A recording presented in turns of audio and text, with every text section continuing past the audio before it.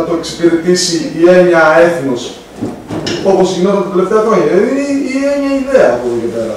Ναι. Γι' αυτό και έχουμε τονίσει τα έθνη και γίνονται υπερεθνικοί οργανισμοί και βλέπουμε ότι αυτό προχωράει.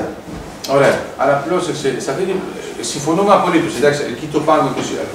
Αλλά το θέμα είναι ότι θα ήθελα να δω αν- να εξετάσουμε τον χρωματισμό από τι κυψέλε. Εντάξει. Ε, όσο μιλάμε μόνο για κυψέλες και είναι απλώς ένα σύνολο ανθρώπων που μιλάει μεταξύ τους και στην πραγματικότητα δεν υπάρχει επαφή μεταξύ των δεν εμφανίζεται μια νέα δομή. Γι' αυτό νομίζω ότι μια νέα προσέγγιση που προσφέρει επιπλέον από αυτή την επανάσταση το ίντερνετ ε, μοιάζει περισσότερο με τις ψηφίδες και το ψηφιδωτό. Άρα μεταφέρω την δομή σου της κυψέλης και λέω αυτό θα έχει ένα χρωματισμό. Μπορεί να υπάρχουν και άλλες κυψέλες που έχουν τον ίδιο χρωματισμό Και δεν έχουν βρεθεί. και δεν έχουν βρεθεί. Γιατί είναι, πάει, ξέρεις, φυτρώνει έτσι, όπως είναι αυτά, αλλά δεν έχουν... ε. Αλλά βλέπω ότι οι ψηφίδες παράγουν ένα ψηφιδωτό. Το οποίο δεν μπορεί να είναι κατανοητό από μία μονόχρωμη κυψέλη. Αυτό εδώ δεν είναι μόνο ένα επιφαινόμενο, είναι το φαινόμενο που εξηγεί την ύπαρξη των άλλων. Γιατί αν θέλεις να καταλάβεις, ε, εφόσον σ' αρέσει να πηγαίνεις και λίγο πιο πέρα, μήπως το ψηφιδωτό αυτό είναι η ανθρωπότητα, η οποία είναι αποδέκτης από διάφορες ψηφίδες που είναι χρωματισμένες, που μπορεί να είναι ίδιες και όχι σε επαφή, δεν ξέρουμε, αλλά η τοποθέτησή τους, όχι πια γεωγραφική, πολύ σωστά εφόσον το εκμηδενήσαμε, η τοποθέτησή τους μέσα σε αυτόν τον νοητικό χώρο παράγουν μια οντότητα, ένα αντικείμενο, το οποίο δεν είναι άμεσα προσβάσιμο. Δηλαδή για μένα, αυτό, η έννοια της διαφορετικότητας, ότι έχω τον διπλανό μου που είναι διαφορετικός, δεν ασχολούμαι με αυτόν, ε, είναι το πρόβλημα που μπορώ να το, να το εκφράσω αλλιώς. Ας πάρουμε ότι έχουμε μόνο ανθρώπους που έχουν παρέες. Και είναι μερικοί που δεν είναι σε καμία παρέα. Βλέπεις αμέσως ότι δεν έχω δικαίωμα να πω ότι Όσοι δεν υπάρχει η είναι παρέα, είναι μια παρέα. Αυτή νομίζω ότι είναι τα πρώτα στοιχεία της ανθρωπότητας. Διότι οι παρέες με το θέμα της συμβατότητας και του συσχετισμού απόψεων είναι πάλι μονόχρωμες. Άρα η παρέα, άμα δεν είναι ομάδα, με τη μαθηματική έννοια για τον κύριο ορισμό, μου παράγει έναν εκφυλισμό, είναι σαν να είναι ένα άτομο. Γιατί στην πραγματικότητα έχουν την ίδια άποψη. Δηλαδή θα πηγαίνουν στα ίδια μέλη, θα πηγαίνουν στις ίδιες καφετέρειες να κάνουν τα ίδια πράγματα. Ε, όταν όμως εξετάζω τα άτομα που δεν είναι σε, μια, σε καμία παρέα, πώς θα τα εξετάσω εκτός ανθρωπότητας; Εκτός ανθρωπότητας δεν γίνεται. Άρα γι' αυτό λέω ότι αυτά θα αποτελέσουν τα πρώτα στοιχεία της ανθρωπότητας. Δηλαδή, είναι οι άνθρωποι που είναι μόνοι. Στην ουσία είναι ο δεύτερος. Αν είπαμε, αν είπαμε ότι ελευθερούν τουλάχιστον δύο για να πούμε ανθρωπότητα, είναι Ναι. ο δεύτερο. Ναι. Αλλά αυτοί που είναι μόνοι, ξέρουν ότι είναι μόνοι μαζί. Με την έννοια ότι υπάρχουν και άλλοι μόνοι. Ναι. Και ε, εδώ θα ορίσουμε αυτό που ονομάζω φιλία, ε, θα είναι η μοιρασιά της μοναξιάς. Δηλαδή, Στην ουσία δηλαδή, δεν μπορείς να είσαι μόνος. Πρέπει να... ναι, ακόμα και τη μοναξιά δεν θα τη μοιραστείς. Και ακόμα Λιγότερο σκέφτεσαι ότι και περισσότερο. πάλι Πώς; δεν είναι Λιγότερο ή μόνος, υπάρχουν περισσότερο και άλλοι. μόνο. Ναι, ναι. Αλλά η ιδέα είναι ότι ο φίλος είναι ότι και αυτός νιώθει ότι είναι μόνος, το ξέρουμε και οι δύο, πρόσεξε, γιατί μέσα στην παρέα δεν ξέρουμε ότι είμαστε μόνοι.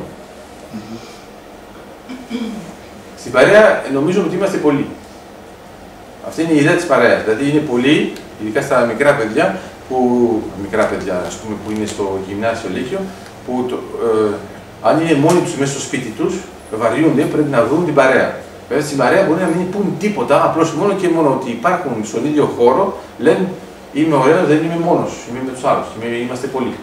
Λοιπόν, αν εξετάσουμε λοιπόν αυτούς τους μόνους και εξετάσουμε ότι μπορεί να δημιουργηθεί αυτό το πλαίσιο, προσέξτε, της φιλίας.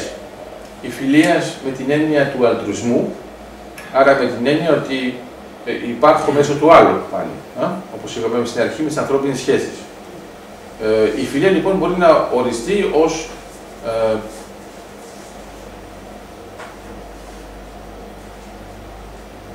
η πράξη που μου επιτρέπει να μοιράσω προσέξτε γιατί θα μου πει σαν διάφορα, θα τέλος αυτό το πω, ε, είναι μερικοί που θα μοιραστούν τη μοναξιά του και είναι μερικοί που θα την μοιράσω. Δεν είναι ακριβώς το ίδιο. Η πρώτη είναι άφωνη. Η άλλη είναι λίγο διαφορετικό. Ας μην το εξετάσουμε για σήμερα. Ε, όταν λοιπόν ε, μοιραζόμαστε τη μοναξιά, υπάρχουν δύο έννοιες. Αν είμαστε του τύπου αρνητικοί, λέμε είμαστε μόνοι και είμαστε πολύ στεναχωρημένοι. Αν είμαστε θετικοί, λέμε είμαστε μαζί μόνοι και είμαστε ευχαριστημένοι. Γιατί βρήκαμε έναν άλλον που είναι σε αυτή την κατάσταση. Ε, το καλό με αυτό είναι ότι δεν δημιουργεί μόνο μία ταυτότητα, αλλά και μία συμπληρωματικότητα. Δηλαδή, η ταυτότητα θα είναι, είμαι μέσα στην παρέα, αυτοί που είναι εδώ μου μοιάζουν όλοι. Είπαμε ότι δεν έχουμε δικαίωμα να πούμε η παρέα των μόνων. Αυτοί είναι μαζί και όπως είναι σε πλαίσιο μοναξιάς, ξέρουν ότι δεν είναι του ίδιου τύπου. Γιατί έχουμε βάλει πακέτο όλους αυτούς που δεν είναι του ίδιου τύπου. Άρα αναγκαστικά ξέρουν ότι υπάρχει διαφορετικότητα, αλλά είναι διαφορετικότητα σε σχέση με όλες τις άλλες οικογένειες παρέες και αυτοί βρέθηκαν εκεί μέσα. Αυτοί, στην πραγματικότητα, αντιπροσωπεύουν ένα καλό νοητικό μοντέλο της ανθρωπότητας, η οποία δεν ασχολείται με το τι κάνουμε ειδικά εδώ ή στην Αφρική, τα βλέπει όλα ολικά, σφαιρικά. Ε, το θέμα της παγκοσμιοποίησης είναι τρομακτικό όταν το εξετάζουμε μόνο και μόνο τοπικά. Δηλαδή λέμε, ας πούμε, εγώ είμαι στη Τράκη... Τρομακτικό με θετική έννοια ή με αρνητική; Με, με αρνητική. Είναι αρνητική. Δηλαδή λέμε, είμαι στη Θράκη, θα έχουν αυτά, θα, θα φοράμε όλοι τα ίδια, θα τρώμε όλοι τα ίδια, θα πηγαίνουμε όλοι στα ίδια μαγαζιά, θα πηγαίνουμε στους ίδιους κινηματογράφους, στο ίδιο πανεπιστήμιο. Αυτό είναι το τρομακτικό, γιατί λέμε, έρχεται ένα πράγμα που είναι εκτός και με συμπιέζει και εγώ δεν υπάρχω πια. Όταν όμως κοιτάξετε αυτό το πράγμα σφαιρικά και ολιστικά, όχι μόνο ολικά, θα δείτε ότι αν είχατε δίκιο, αυτό θα σήμαινε ότι δεν θα υπάρχει πουθενά πια πολιτιστική διαφορετικότητα.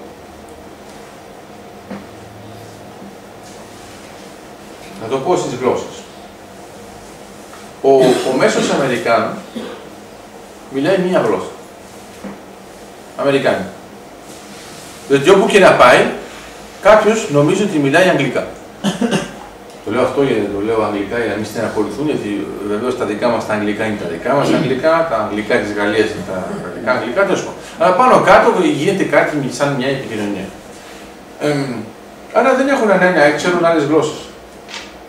Αυτό όμως που βλέπω είναι ότι, προσέξτε τι θα πω πάλι, ποτέ στην ιστορία της ανθρωπότητας δεν είχαμε τόσους πολλούς πολύγλωσσους.